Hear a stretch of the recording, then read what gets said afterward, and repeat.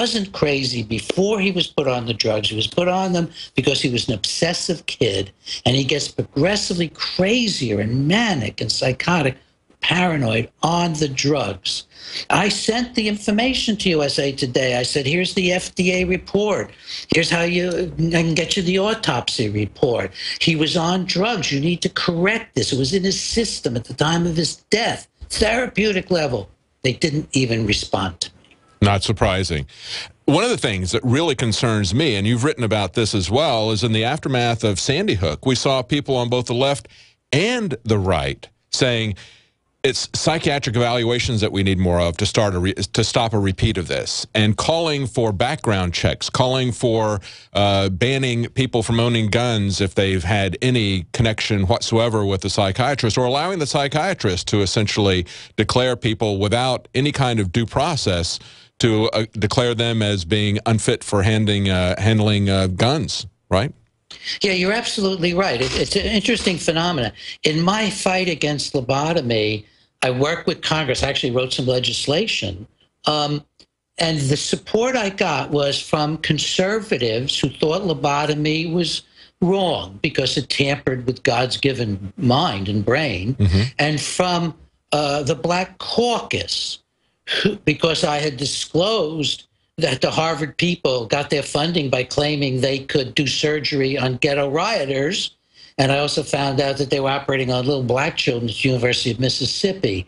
The broad liberal community did not support me as anywhere near as much as the conservatives and as uh, and libertarians and the Black Caucus. And I'm really concerned now that conservatives uh, don't see that turning to psychiatry yes. as a solution is, is ultimately totalitarian. They just don't see it. Yes, yes.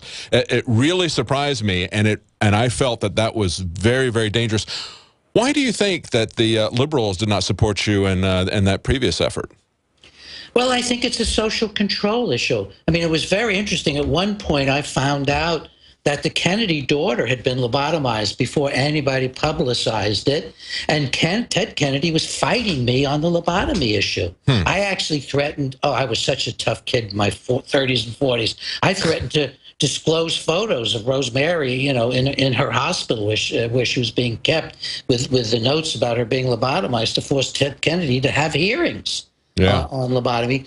I think that in the lib among in the liberal community, there are many people who do understand these issues, but there are many who so believe in psychiatry.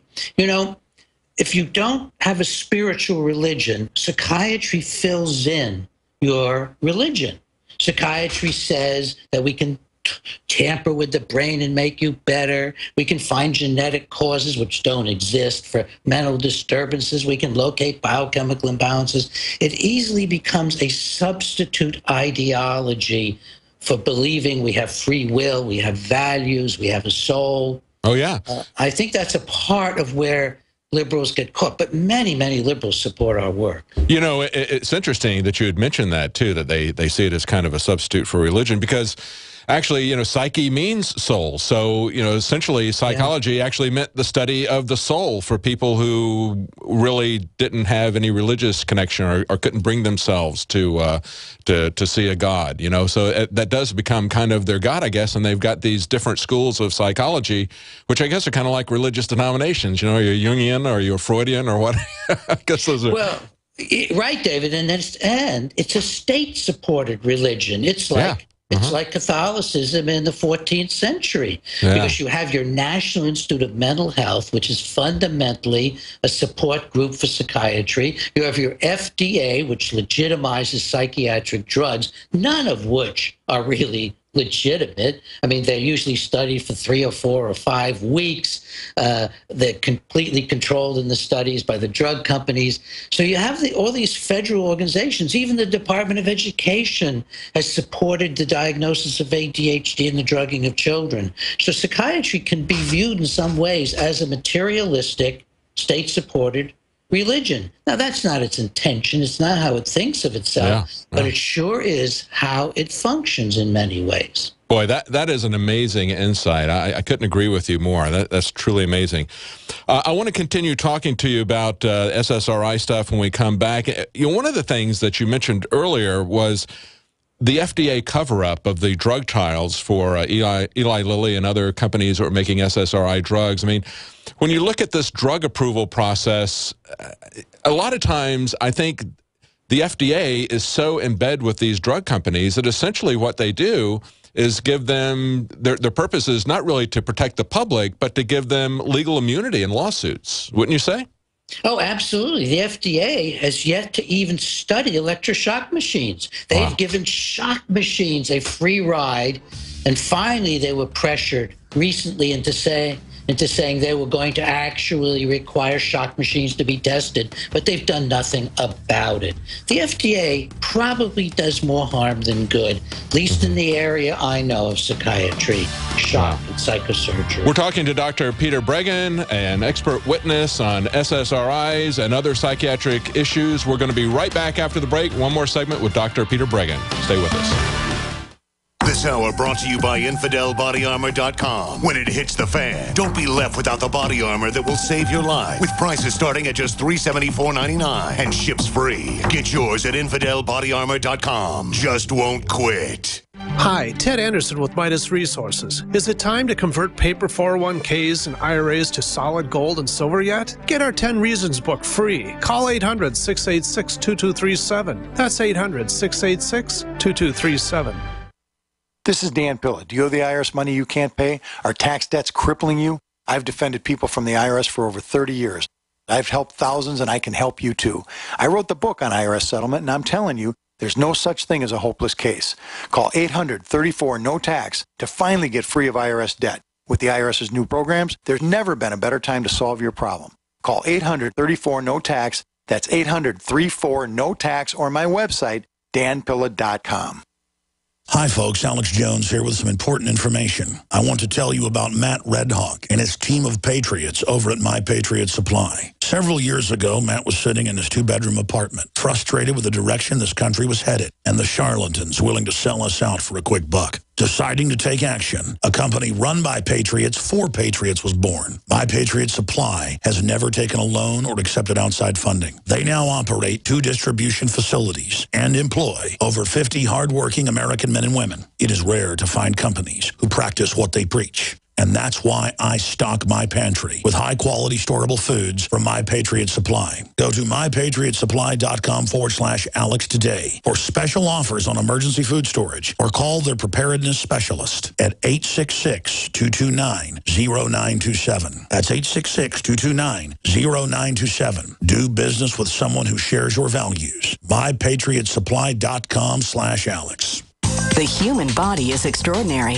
Despite all the stresses we inflict upon it, it still works hard to stay in balance. Thousands upon thousands of people rely upon Heart and Body Extract to help their body stay balanced. This excellent 100% natural herbal formula helps maintain healthy blood pressure levels, cleans arteries, promotes good circulation, balances cholesterol, and more. HB Extract, paired with healthy lifestyle choices like good nutrition and exercise, can give you a life free of pain, sickness, and fear. Recapture your youthful vitality and experience your body healing itself with the aid of HB Extract. It's extremely effective and it starts working in just days. Visit hbextract.com to learn more and to read scores of testimonials from satisfied customers. And we've never increased our price in over 10 years. That makes Heart and Body Extract as great a value now as it was the first day we sold it. A healthy heart is a happy heart. Call 866 295 5305 or go to hbextract.com. The Genesis Communications Radio Network proudly presents The Alex Jones Show because there's a war on for your mind.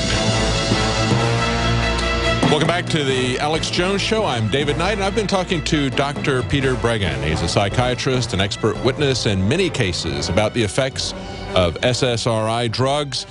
We were just talking before the break about how the FDA actually empowers and provides cover for drug companies, how they selectively cherry picked their drug studies so they could get the results that they wanted.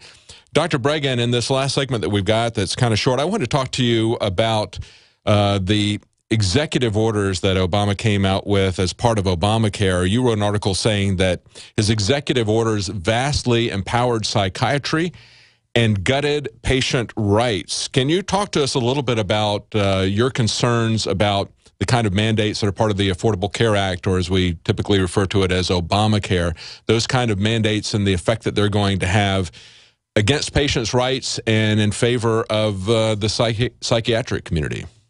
Well, remember that psychiatric records are considered medical records. Therapy records are considered medical records. All of them are covered by insurance or will be eventually covered by insurance, or they'll have to opt out for privacy. And all of that is going to these central collection uh, agencies, you know, that are sprinkled throughout the states to bring together all the data and to organize it electronically. There is no way that that's going to remain private forever. I mean, we have corporations being broken into, we have the Pentagon's uh, computers being uh, broken oh, yeah. into. Yeah. There's no way that your health records are going to stay private. And you have to be really careful now about telling any healthcare provider anything personal about yourself, which is an absolute disaster. And Obama was also calling for a strengthening of the ability to lock people up against their will. But there's no no way psychiatry can uh, discern who's violent and who is even harmful to themselves. What that results in when you increase involuntary treatment is is uh, you might have to put away 10,000 people to stop one person from from causing harm, and you'll never even know if you stop that one person because there's just no way to figure all that out. Oh yeah, Using, empowering psychiatry is a disaster. Uh, I've always I, I've always said that when people give up their liberty for security, they wind up in a maximum security cell, and that's literally oh, what will happen. Good. Yeah, that's literally that what will happen. That's really really good. I'd like to address two two positive things, if I could, quickly. Sure. Yes. One one is don't rush and take just stop taking your psychiatric drugs after listening to us today because stopping drugs is as dangerous as starting them because it throws your brain out of balance once again. And I've written a book called Psychiatric Drug Withdrawal, which talks about safe and effective withdrawal from drugs. The other point I want to say is whether you believe your brain is God given or evolution given, you have within yourself the power to overcome your worst emotional suffering. You have the power within yourself to regain your autonomy. You can become more and more self determined.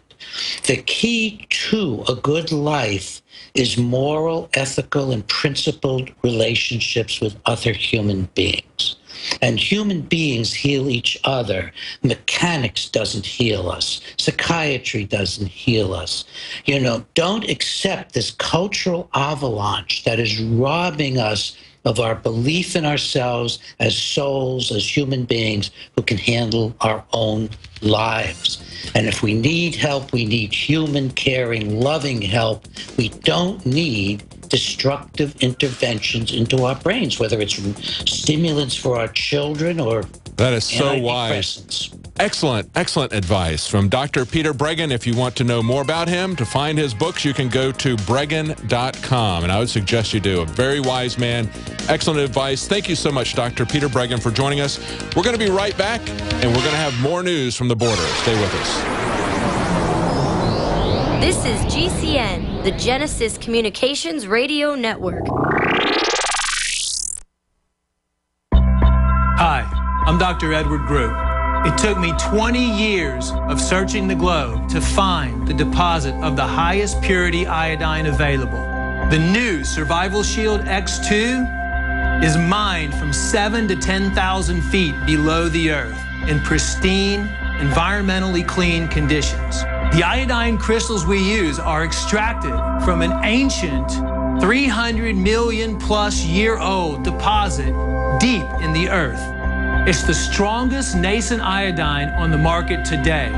It delivers 650 micrograms per drop. Experience the new formula. Experience the ancient purity. Shield your family. Survival Shield X2, available now at InfoWarsLife.com. X2 from InfoWarsLife.com or call toll free 888 253 3139.